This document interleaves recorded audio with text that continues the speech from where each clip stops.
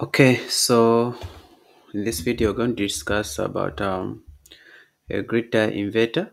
Okay, so we're going to solve one problem.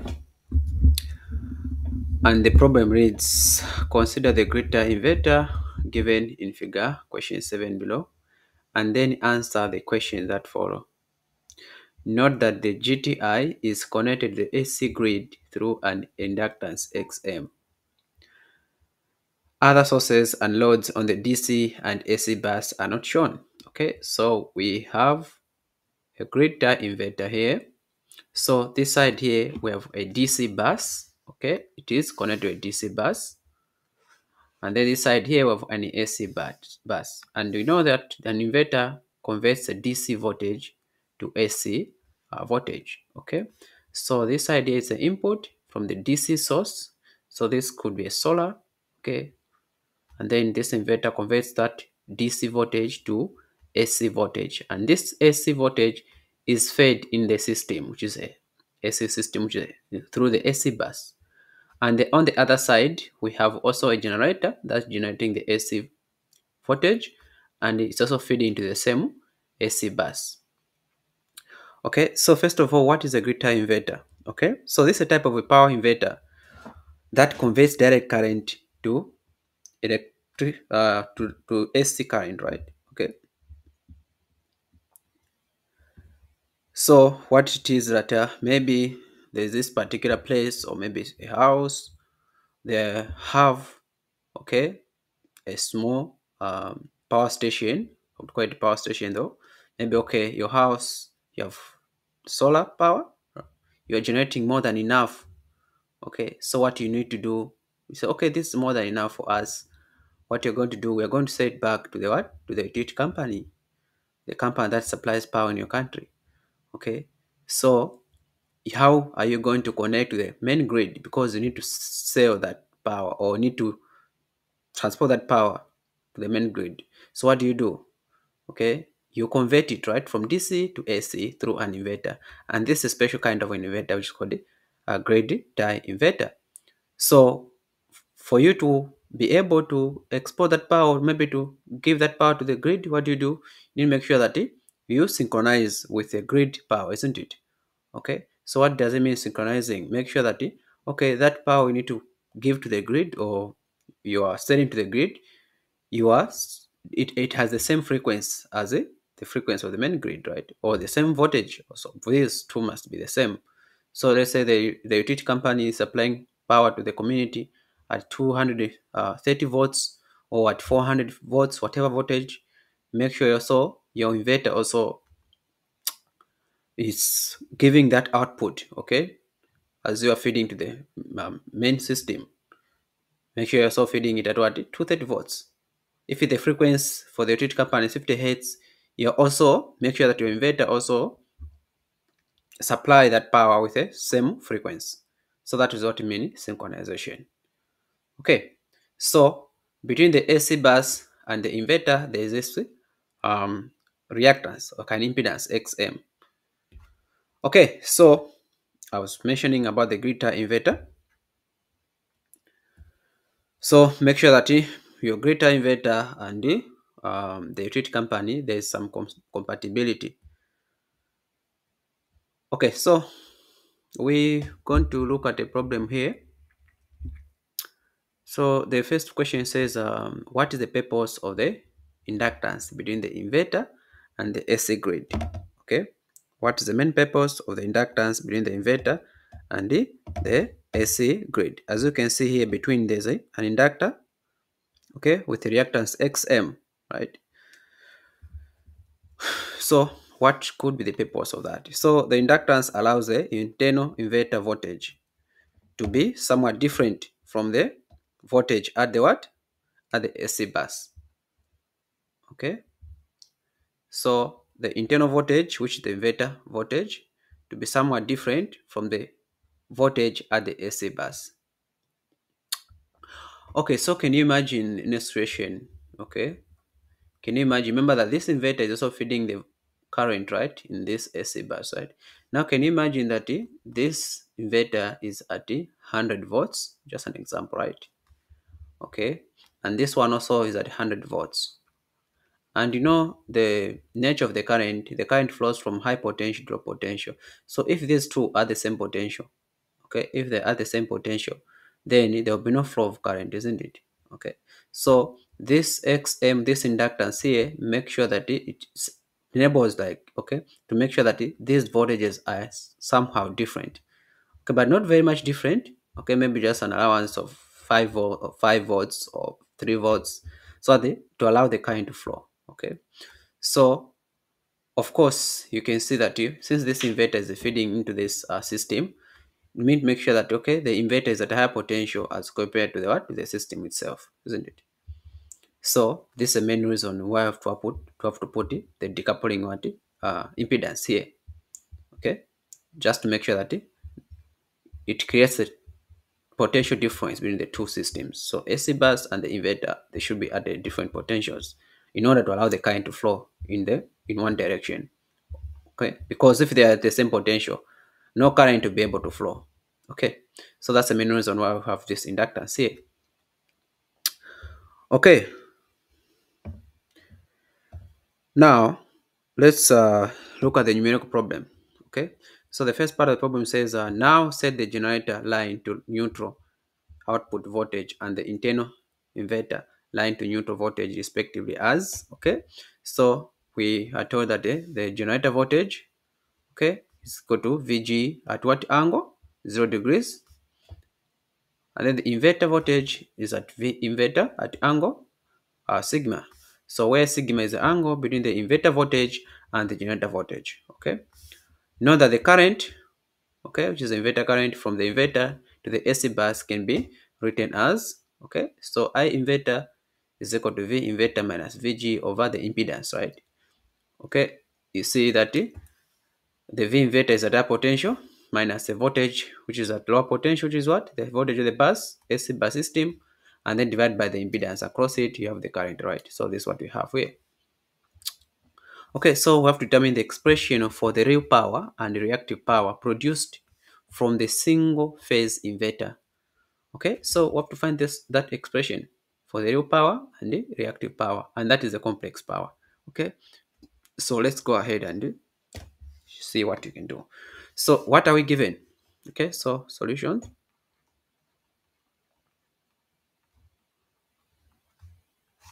so we are told that oh the vg the generator voltage which is the phasor is equal to vg at angle 0 degrees, right? And this you can write this in rectangular form as what? Vg cosine angle, which is 0, plus j sine angle, which is 0. So this is just equal to Vg, okay? We're also told the inverter voltage, V inverter, is equal to, this is a phasor, okay, is equal to Vg, magnitude of Vg, at angle sigma, right? And also this can be written in what? Rectangular form as Vg cosine sigma plus J sine sigma. Okay? Alright, so we are told to find the power, real power and the reactive power. So the combination of the two is called the complex power, right? So complex power denoted by S is equal to V times the conjugate of the current, right? Okay, so which voltage here, since we're talking about the inverter, is V inverter voltage times I uh, inverter current. The complex, I mean the conjugate of the what? I inverter current. Okay. All right. So let's uh, make the substitution here. So S is equal to V inverter. Okay. And then what is I inverter? So we are from the problem we statement we are given that the inverter current is equal to V inverter minus Vg divided by okay the reactance. So I inverter current from the inverter is equal to the voltage of the inverter minus the voltage of the what the generator divided by the impedance okay so let's substitute this since we need the conjugate so i'm going to substitute the conjugate of that so v inverter minus vg divided by jxm conjugate. Okay. Now we have to find the conjugate of this. Okay. What's the conjugate of this guy? So the conjugate of that guy will be just equal to, okay, so the inverter. Okay, so the conjugate of this is just a minus of the imaginary part, right? Since we have real numbers on top there, so this can just be the minus of the imaginary part, right? Okay, so uh, we just have to change the sign of the j there. That's the conjugate. So if you have a plus jb, so this is the z. If you write a z conjugate, this is just equal to what? A minus jb. Okay, so this is z conjugate. Just have to change the sign of the what? The imaginary part. Okay.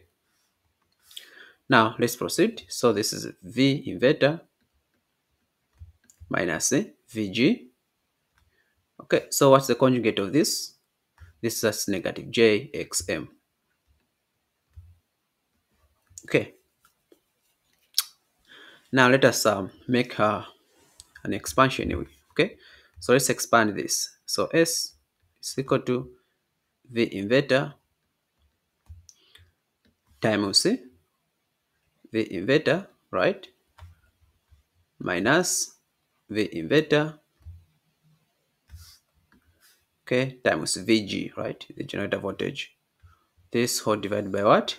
Negative JXM. Okay, now allow me to separate the two, right, into two fractions. So the first one, we are going to have V inverter, this same as V inverter squared, right, isn't it? Okay, this same as V inverter squared minus Vg. Okay, so this will be over negative Jxm. This will be Vg times V inverter divided by negative Jxm. Now remember that we said that V inverter in terms of um, in rectangular form, right? Because it's a phasor. Okay, these are phasors, right? Okay, in rectangular form, this is just equal to what? V inverter cosine sigma plus J V inverter sine sigma, right? So let's make a substitution here. Now you notice that if you multiply this guy by itself, right, squared like this, you just get the magnitude of the same thing. Because remember that if you multiply this, okay, if you multiply this, what do you get? You just get what? The magnitude of the what? The magnitude of the okay the voltage itself squared okay? So you can confirm that mathematically right? So v in times cosine of that plus j v in okay times sine of that. Obviously what you're going to get is something like vn squared okay? And then here inside about uh i think uh 2 cosine 2 uh, sine cosine 2 sigma plus j sine 2 sigma somewhere there. So this you find that uh, this is the magnitude of the vector right? And then what you have is just a unit vector isn't it? Okay just a unit vector under that. So you see that okay mathematically you can just prove that okay when you multiply a vector okay by itself the end result just be the square of that vector the magnitude of that vector. Okay so here you don't have to waste much time on this because I'm multiplying by itself this just be equal to the magnitude of the same itself okay? So vn beta squared right? So that's the magnitude of this squared divided by negative jxm. Okay now um, here since we have two different vectors so we can just make the substitution properly right? So um, you have negative okay? So this negative and this negative here can cancel them out make a positive right? Okay vg okay vg remember that vg is just the same because the angle is zero so this nothing is going to change. So this is the magnitude or the amplitude vg and then what of this one here? This one remember we can make the substitution. We said this one is simply the magnitude of what? V inverter cosine sigma plus j the magnitude of what? V inverter okay? Sine sigma. Why am i doing this here? Why did i do like the did area uh, for this one? It's because here of two different voltages right? Two different vectors okay? So i can write them in cartesian form. Okay? So have two different vectors. I can just write them in cartesian form. All right and then divide by jxm so let's simplify this further. So this is v inverter squared divided by so uh, okay hold on first. Negative jxm all right so now here let me just make a bit of expansion. Okay so this will be vg. Times v in right? Those are the uh, just the magnitudes of the voltages divided by jxm okay? And then here plus vg okay? Times v in and then sine sigma. Okay remember this as j and also here divided by jx right? So notice that, that here this j and this j can cancel them out. Okay so remain with what? V in okay this is v inverter squared over negative j xm okay plus vg v inverter cosine sigma divided by jxm okay and then plus here for vg. V inverter sine sigma divided by xm. Okay so here you can rationalize. Okay okay. I'm going to do this. I'm going to i'm apply both on top and down by the j right? So to get rid of j in the denominator isn't it? So you notice that for the first one for this one here i'm going to apply by negative j right? For this one here i'm going to apply by j. Okay. So that's what i'm going to do. Apply both both on top and down by okay so for now just like i said i'm going to apply both on top by this this be negative j. Okay v in beta and then squared over this negative j this negative j. Okay those guys can j and j remember is negative one. Okay okay so negative j negative j that's positive j squared right? So j squared remember that's negative one. Okay so we're going to have negative xm here right? And then here i can also do the same multiplying both on top and down by j. Okay so j by j that is negative one. And then here we have j vg v inverter cosine sigma are divided by j and j negative 1, so we have negative xm. And then plus vg, v inverter sine 2 sigma, and then divided by xm, okay? So we can now rearrange this. So the power is just equal to, so I'll start with uh, the real part. See, this is the real part, right? Doesn't have j, isn't it? So this is vg, okay, v in. Sine. 2 sigma divided by xm.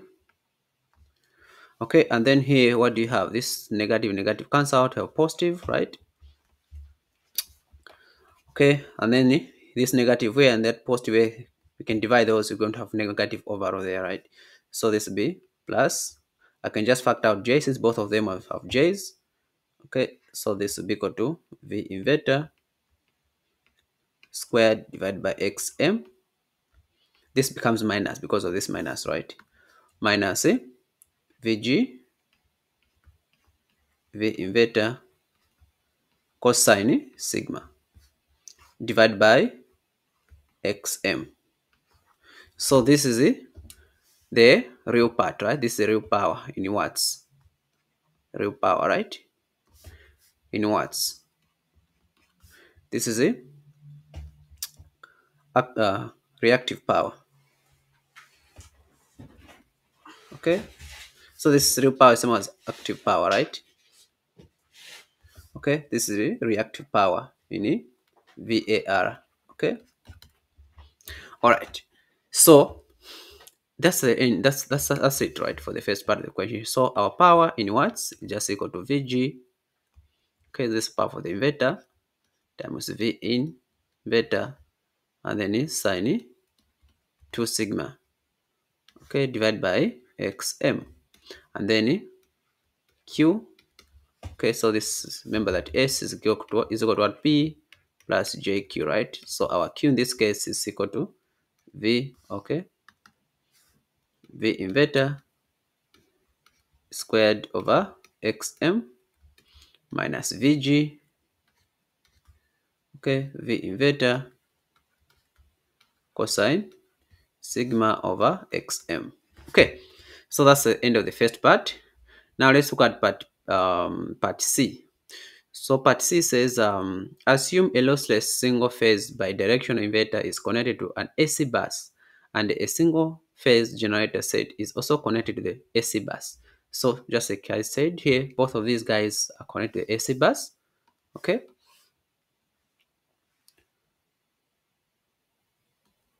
So both of these are connected to the AC bus as you can see here.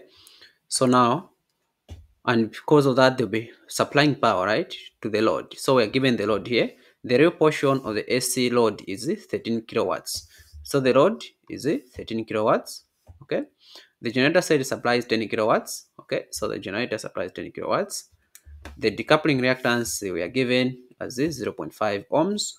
The generator voltage is 230 and the inverter voltage is 232. As you can see, just like I said earlier, that the inverter voltage has to be a bit higher than the generator voltage, right? Okay. So the generator voltage is actually, okay, it's already synchronized with what? The AC bus. But the, the generator for it to supply power to this AC bus, okay, need to meet those conditions. Frequency, the voltage and all that, right? So you can say that, okay, this bus is actually at 230 volts, right? The bus is at 230 volts. So the, the inverter is at 232 volt, volts. So at the difference in the voltages, okay, will allow the current to flow. Okay, so now let's uh, see. So compute the required power from the inverter and the associated angle. So we can see that, okay, since the load is 13 kilowatts, okay, and the generator is supplying 10 kilowatts, we know very well that, okay, obviously the inverter has to supply the remaining 3 kilowatts, isn't it? So the power that inverter to supply should be 3 kilowatts, okay? So it's part C. So part C, power of inverter will be equal to the load power minus what? The generator power. So the load power required is 13 kilowatts, or the generator supplying 10 kilowatts. So what remains is what the inverter needs supply. Okay. Yeah. So it's fits in the house and all that. Or maybe the this substation has maybe doesn't supply enough power. Then maybe they may decide to form a small substation somewhere from, with solar panels and all that so they can be able to supply the remaining 3 kilowatts. So you need to make use of this inverter so that you synchronize with the, the grid. Okay, so that is what we have as 3 kilowatts, right? That's what you need to supply to that load. So the load can be anything like community or anything, right? Yeah. Now let's look at um, the angle. So we need to find the angle sigma, right? So since this is uh, uh, this one is actually active power, right? Okay, kilowatts. So I have to use the equation for active power. So we know that power is equal to Vg or V inverter, okay, times Vg, right? These guys, right? And then sine. Where is 2 sigma coming from? I'm sorry for this. Where is 2 sigma coming from? This 2 sigma must be a mistake, right? Okay, That 2 sigma must be a mistake. Sorry for that. Okay. Sine sigma divided by xm, right? So what we need to solve for is the sigma. So sine sigma is equal to p times xm, okay, divided by v in vector times v generator. So let's substitute everything. So the power is 3 kilowatts, xm is 0.5, v inverter given is 232, the v generator is 230. Okay, so how much is that? Let me just grab my calculator here.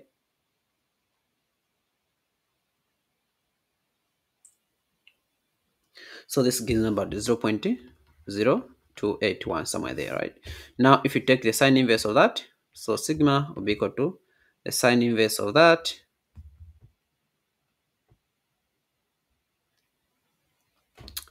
okay of 0 process check first. Let me just grab my calculator again.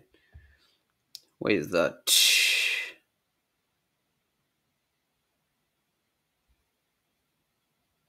Okay so 1000 times 0 0.5 divided by 232 times 230 okay? And then the sine inverse of the answer so it's about it. So it's the inverse of 0 0.0281 this is about equal to uh, 1.61 degrees. Okay that's the phase difference between the voltage of the generator and the voltage of the what? The inverter and then part b part b says uh, compute the reactive power from the inverter. So the, the, the other part is the part d. So the reactive power is q q remember that is given by this right? Where is the equation for q? So this is equation for q right? So q is simply v inverter squared minus v inverter vg and then eh, cosine sigma divided by xm over xm. So q is equal to 232 squared over 0.5 minus 232 times 230 which is a VG divided by 0.5 cosine eh, sigma which is 1.61 right okay. So 232 squared over 0.5 minus 232 times 230 times cosine uh, 1.61 over 0.5 okay so it's about 97 right? So q is equal to 970.13 then it's what? Var okay. So this is it the uh, reactive power. Okay. So this is the end of the video. Thank you for your attention